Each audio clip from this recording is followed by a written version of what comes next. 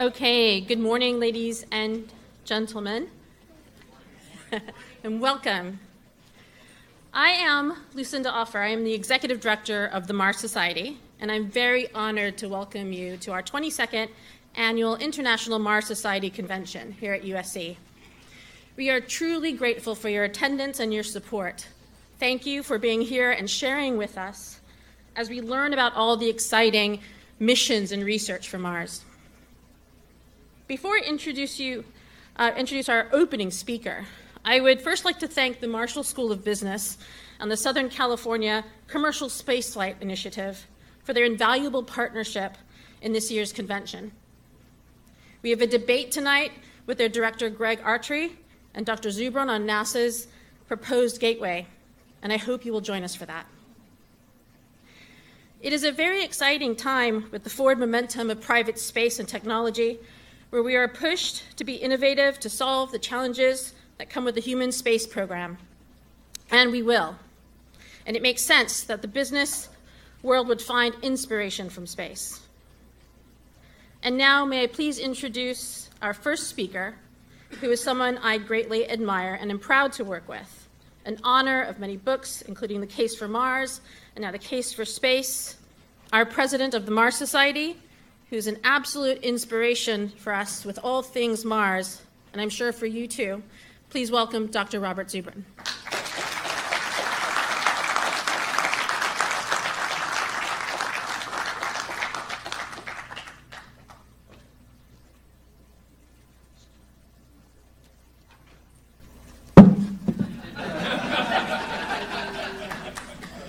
Okay, so uh, thanks for coming uh, and for being part of this movement, uh, which I think will be remembered by future ages as the most important thing going on in the world at this time.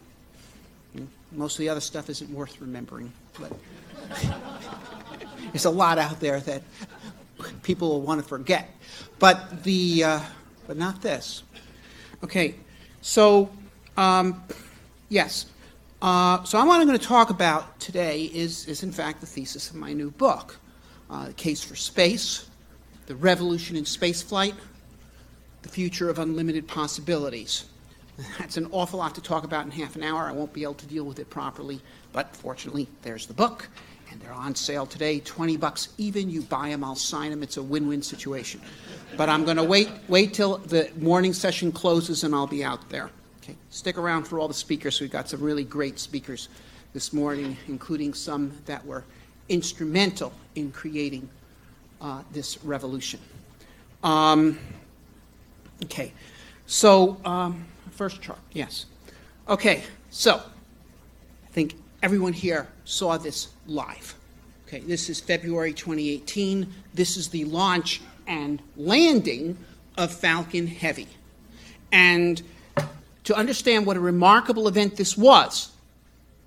2010, Barack Obama appoints my former boss, Norm Augustine, to head the Blue Ribbon Commission to determine if the Bush Moon Initiative was possible within reasonable financial constraints. Answer no. Why? Because developing a heavy lift vehicle will take $36 billion in 12 years. Okay?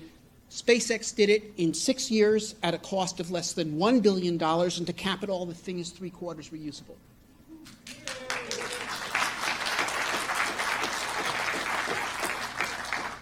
Okay, that's just amazing. Okay, and of course, now they are moving ahead towards creating a vehicle that will make this obsolete. Now, that's something we've seen in industries like this, uh, where companies introduce technologies that make their previous generation obsolete. This is not something we've seen in the space industry. Okay, uh, the, the, the where systems are still operating that were introduced 30, 40, even 50 years ago. Um, okay, uh, we'll talk more about that.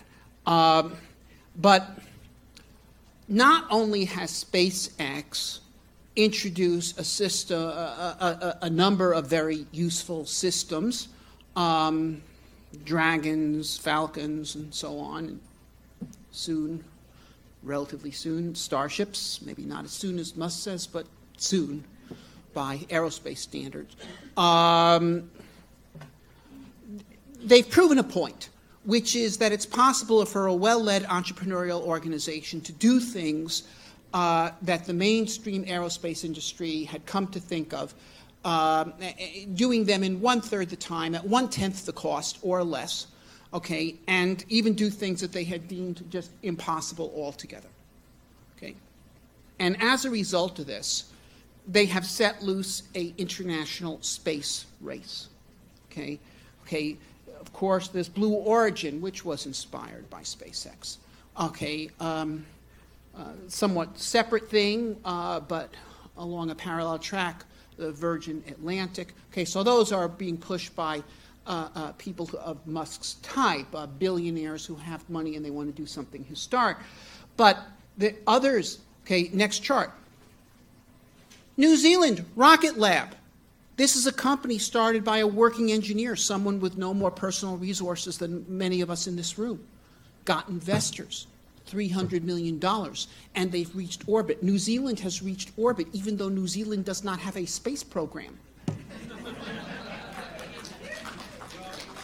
Okay, so this, uh, New Zealand has reached orbit through a private individual and not a billionaire, nothing of the sort. And this has opened this thing up. There are companies in Ukraine uh, and in companies that do have space programs. Uh, uh, I was invited to a space launch in China, done not by the government, but by an entrepreneurial uh, space company called the Link Space. And, and they took off, they flew 100 meters up in the sky, hovered there in the face of a 20 knot wind, hovered. NASA wouldn't even launch in this wind, and they came and landed exactly on the launch pad, putting themselves down like a crate of eggs. They'll probably reach orbit in two or three years. Uh, and, and so this has opened this up regardless of nationality. And they're going to compete and they're going to drive the cost of launch down. You know, the cost of space launch went down a lot from 1957 to 1969, as, as basically during the Apollo period, we and the Soviets perfected uh, uh, essentially all the major systems needed for spaceflight. Okay, uh, but then it stagnated for 40 years until uh, 2010. From 69 to 2010, there was absolutely no drop in the cost of space launch. Since 2010, in one decade, it has fallen by a factor of five, from 10,000 a kilogram to 2,000 a kilogram. If Starship is successful, it'll go to $700 a kilogram. Okay, uh, and the cheaper it launch, it, it launch is, the more launches there will be, and the less conservative spacecraft designers are going to have to be, which means space technology is going to advance faster, okay, uh, both in quality and in lower cost, okay. And uh, you know, last year there were about 100 satellite launches in the whole world. Uh, I think very soon we're going to go to two or 300. Um, but the, another market is going to open up. Next chart. Okay, well, this just refers to another revolution that is in play right now, which is the micro spacecraft revolution, it's now possible to make 10 kilogram satellites that could do what it previously took a 1,000 kilogram satellite to do. These CubeSats started out as little educational projects. Now they're functional, real spacecraft. Two of them went to Mars with InSight. Okay. Uh, you know, this is happening. Next chart. And reusable launch vehicles open up an entirely different kind of market. One not with hundreds of launches per year, but hundreds of launches per day which is intercontinental travel. You know, for 3,000 years, people have made money on the ocean. But, okay, some have actually extracted wealth from the ocean, for instance, by fishing or sponging or something. But the much bigger money has been made by using the ocean as a global medium of low drag transport. Okay, that's where the serious money has been in the ocean. Well, space is a global ocean of zero drag connecting every point to any other point, through which you can travel from anywhere to anywhere in less than an hour. Now, this doesn't work for every place. Uh, okay, it, it, might be tough for Paris because it's inland and metropolitan, but there's plenty of major cities that are ports that you could put the space launch pad 20 kilometers offshore and launch from there and land on there and, and, and do that kind of thing. And, and this is just huge. And if we go from hundreds of launches a year to hundreds of launches a day, because there are hundreds of intercontinental flights every hour, okay, uh, that turns space technology into a mass production industry. You know, a rocket engine is less complex than your car, but it costs, you know, uh, three orders of magnitude more because the car is a mass production item. The, uh, the rocket engine is not.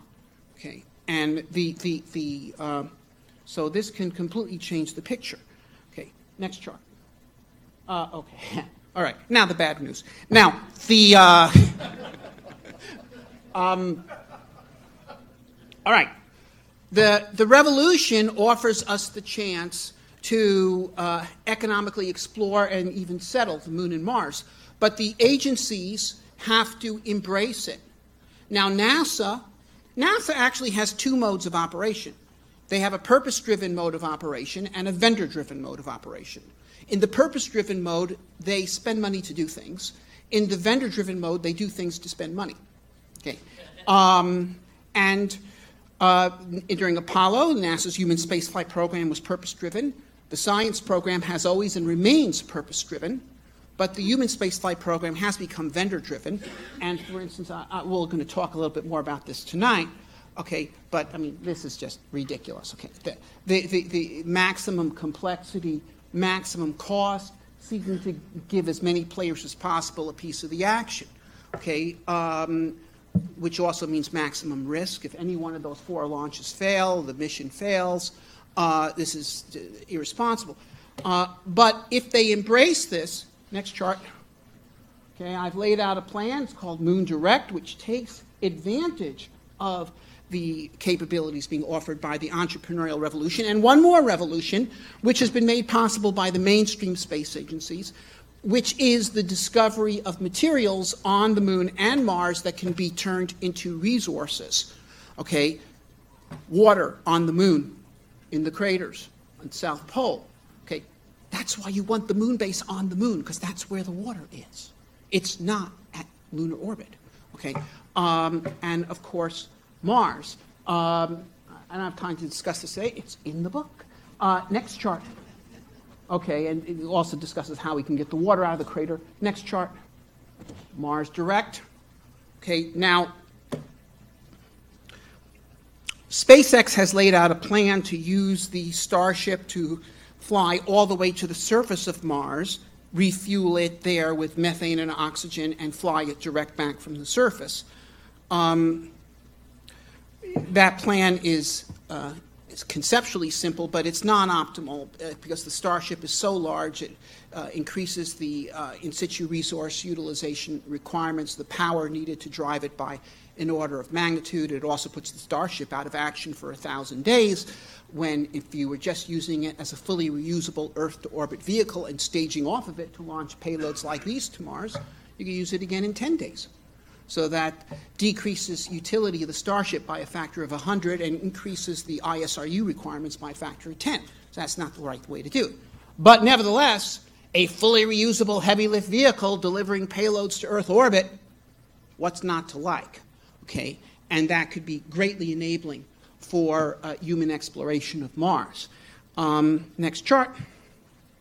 And, well, we're going to hear a lot about this at this conference. We have uh, the finalists, 10 finalists of um, over uh, of exactly actually 100 entrants on how to design a 100 person, uh, 1,000 person Mars colony, taking into account not only the technological requirements, but the economic requirements, social, political, and aesthetic requirements uh, of creating new branches of human civilization. But I think that's where this can go.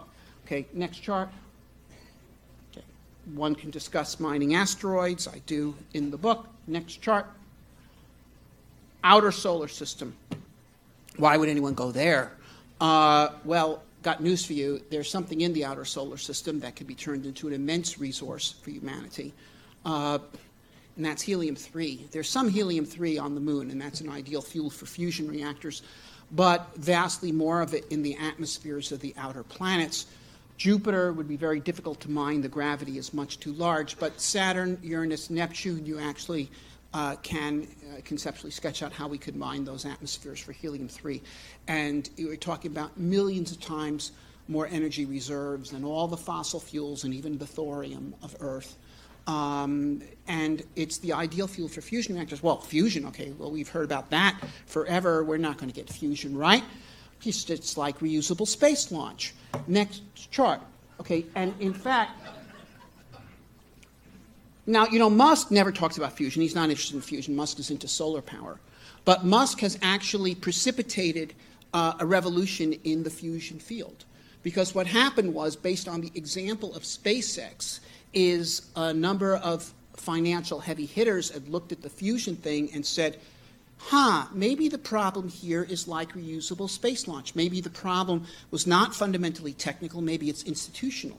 Uh, and, you know, I, I, have to tell you, I actually worked in the fusion program in the 1980s at Los Alamos. And uh, I can remember a group uh, lunch, and the group leader said to us, you know, when fusion power is finally developed, it's not going to be at a place like Los Alamos or Livermore. It's going to be a couple of crackpots working in a garage.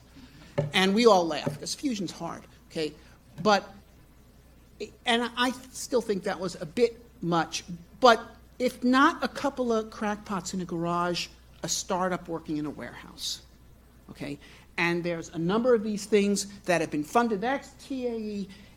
Uh, E Energy over here, that's in California, they've gotten $500 million in investment. That's more than the US government fusion program. Okay? And these people are not proceeding on a schedule like the ITER, which took 30 years to decide where they would put it. Okay? You know, in technology projects, time is people times cost. If you want to save money, you do it fast.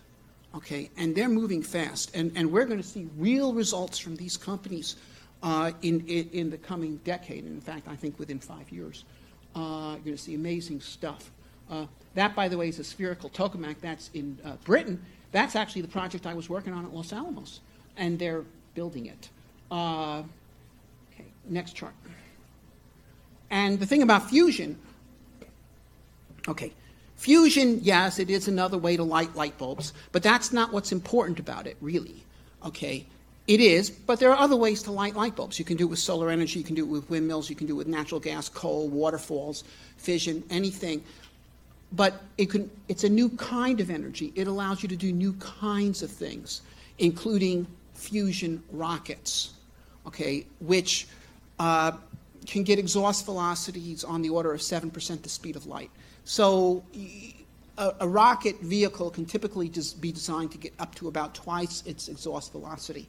So you're talking about systems that can get over 10% the speed of light. You're talking about systems that not only represent the capability of rapid travel around our solar system, but even a marginal capability for interstellar travel. That's what has been unleashed. Next chart. And, okay, terraforming. We're going to do that too. Next chart. okay, I'm moving fast. Okay. Now,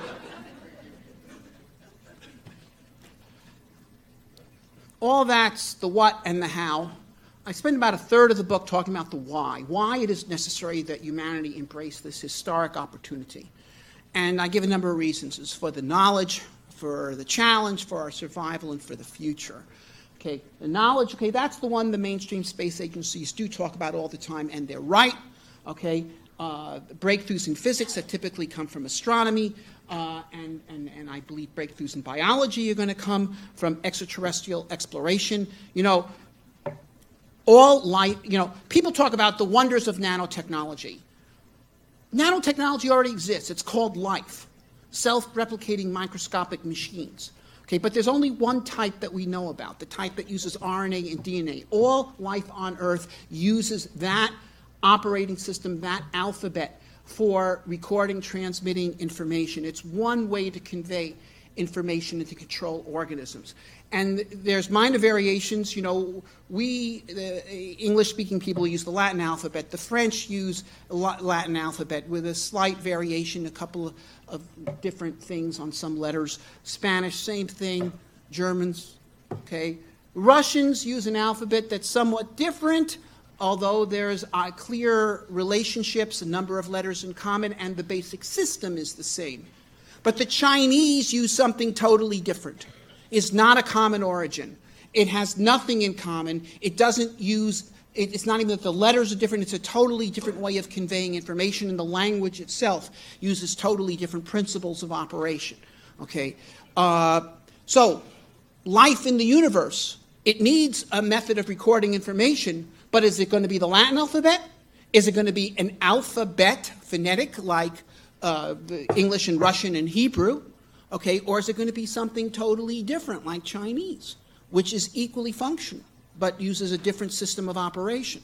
Okay, and if you can access different ways of doing this, you can create new powers over nature. And then, of course, th- this, by the way, is Sara Seager, the astronomer. She's delivering the results of the Kepler mission. One in five stars in our galaxy has a ha- ha- Earth-like planet in the habitable zone. One in five. That's 80 billion stars in our galaxy. The universe is alive. This is what we're discovering. Next chart. Okay, survival. Okay, everybody knows about asteroid impacts. Here's an important fact you need to know about space, uh, about Earth, which is where it is.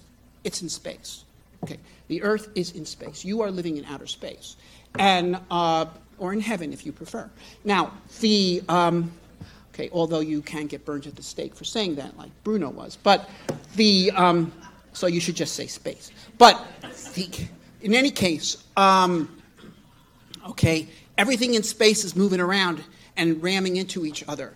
And occasionally it causes mass extinctions. We get smaller impacts all the time. Okay, this is the past 25 years. Okay, December 18th, last year, we had 150 kiloton uh, impact over the Bering Sea. That's 10 times the Hiroshima bomb. So we got to get control of this flight traffic. Okay, now I, I, don't have any sympathy for the people who say we got to go into space so that the Earth is destroyed by an asteroid, there'll be some survivors somewhere else. Uh, to me, that's stupid. We're not going into space to desert the Earth. We're going into space to protect the Earth.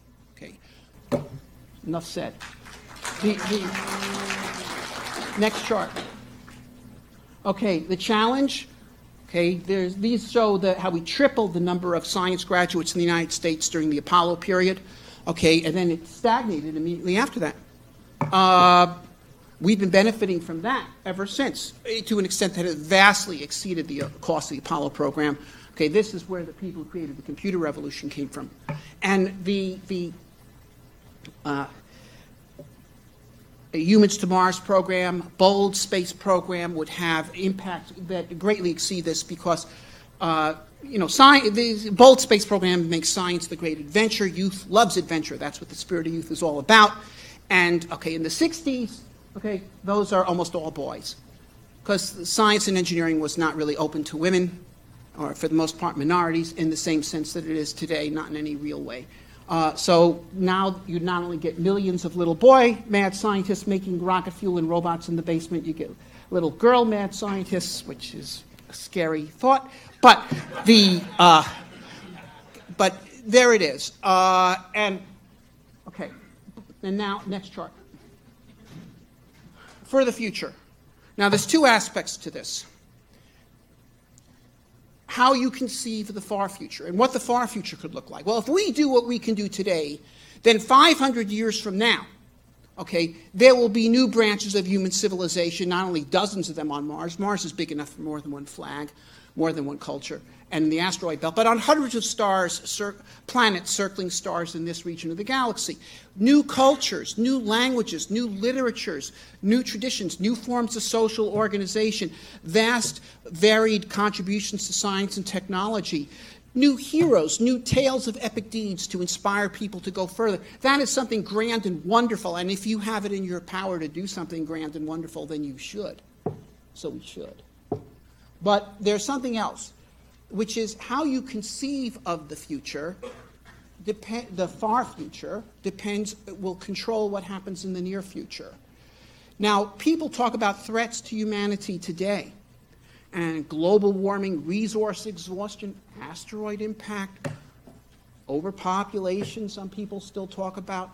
Uh, whatever. I don't think any of those things are the real threat to humanity today. Some of them are issues that need to be dealt with, some are overdrawn. But the real threat to humanity comes from bad ideas.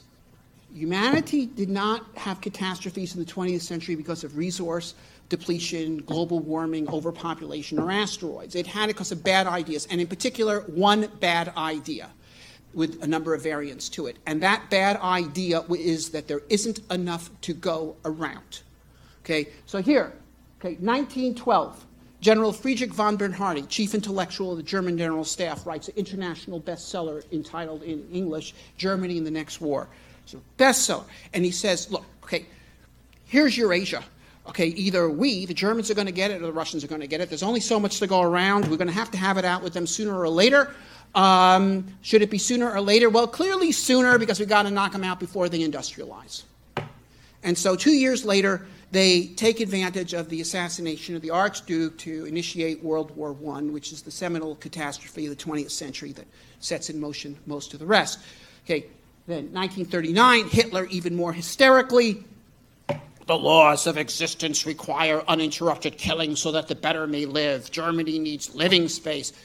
It's nonsense. Germany today is smaller than the Third Reich, has a larger population, but a vastly higher standard of living uh, because of technological progress, uh, some of which has been done by Germans, but most of which has been done by people all over the world, including notably people of, of, of types that the Germans, the Nazis, wanted to exterminate. Okay? So it is simply not true that humanity is composed of nations or races in a struggle for existence over scarce resources. That is a, false point of view, but nevertheless, if it is embraced, it has the capability of causing absolute catastrophe. And today, I happen to know, because I have talked to them myself, that there are people in the American national security establishment who believe that war with China is inevitable. Why? Because there's over a billion of them, and if they have a standard of living like us and they all have cars, there isn't going to be enough oil in the world. Okay, and you can bet your bottom dollar that there are people in comparable positions in Beijing who look at this thing from the other side of the chessboard and think exactly the same thing. And if, if, if that kind of thinking is allowed to prevail, war is guaranteed and it only becomes tactical questions as to where and how and when and under what pretext. Okay, the, the, the, now this is a false point of view. Okay, I mean the fundamental point of view is Malthusian. Uh, there's only so much resources, population increases, standard of living go down. In fact, history shows the exact opposite. As the world's population has gone up, the standard of living has gone up. Why? Okay, because Consumption depends upon production. Production is people times technology. Okay, the more people there are, the more inventors there are, and inventions are cumulative.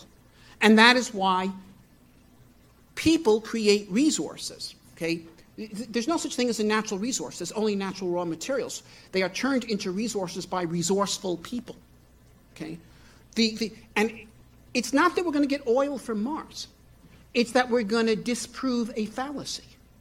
Okay, we're going to disprove this fallacy that there's only so much to go around, that there, there's a roof on the earth. So there's not a roof on the earth. The earth comes with an infinite sky and it's wide open. And that's the case for space. Thank you.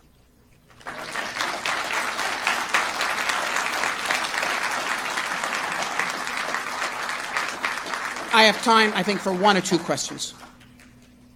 Next to a mic. Go to, sir. Hi there. Thank you very much for the book uh, and thanks for all your other hard work over all the years. Um, my question is related to the expansion uh, onto the moon and Mars of other industrial complexes. 3D printing seems to be an easy way to, to do things, cooking the rocks to get the oxygen out. You look at the white stuff, it's aluminum. You look at the dark stuff, it's iron and titanium. There's lots of resources out there because there's more resources in space than there are on Earth. When are we going to see an acknowledgement within the rest of our society that that's where the resources are rather than trying to fight and squabble over the resources here? Well, that, that, that's the essential point. Okay, first of all, the resources are not there. The resources are here. Okay, okay, that's where the resources are. But the materials are there. The space is there. There's a lot of space in space. Okay, so if you need living space, there it is. Uh, but the, the, the, the problem is this, okay? If we didn't go into space, we're still not going to run out of resources, okay? But to prove that to people is difficult. It's like proving to a mathematically uneducated person that there's an infinite number of points in a line segment. Okay? If you know math, you know that there are, in fact, an infinite number of points in a line segment. But if you don't, it see, that seems impossible. Okay? But anyone can see that there's an infinite number of points in a line that goes on forever in both directions. And that's what we have to show. Okay? It's a question of winning a battle of ideas. One more question. Sir. Uh, John Renner, thank you for your hard work over the years in standing in the right. But can you say, can you put this succinctly that without space, Earth's future is a zero-sum game, but with space, it is an infinite? I, I, don't quite agree with that, okay? Because once again, I do think that there are an infinite number of points in a line segment. But look, Europe was not running out of resources in 1914. Europe was doing better in 1914 than it ever had been in, in history, okay? The, the world was doing better, okay? But it was this idea that it was a zero sum game that caused the self destruction of the civilization. Okay? Ideas have consequences. Bad ideas have bad consequences. We need to spread good ideas. Thank you.